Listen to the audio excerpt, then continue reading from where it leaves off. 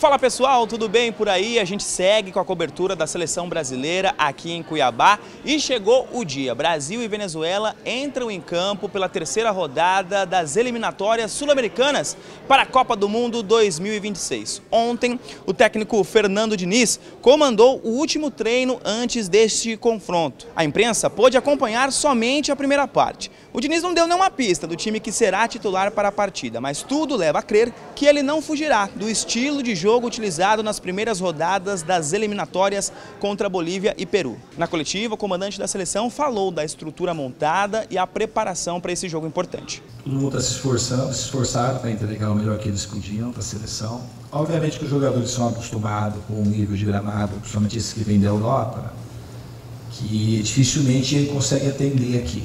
Mas só de Cuiabá se esforçou o máximo que eles podiam. Tem esse carinho do torcedor, assim como em Belém, e a gente vai procurar fazer o melhor para entregar alegria para o torcedor.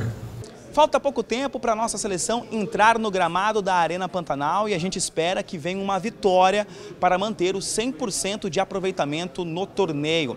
A partida entre Brasil e Venezuela está marcado para as 9h30 horário de Brasília. E a expectativa é de casa cheia, isso porque os ingressos foram esgotados. Aqui, Kaique Alves, direto de Cuiabá. Eu volto com vocês aí no estúdio. Abraço!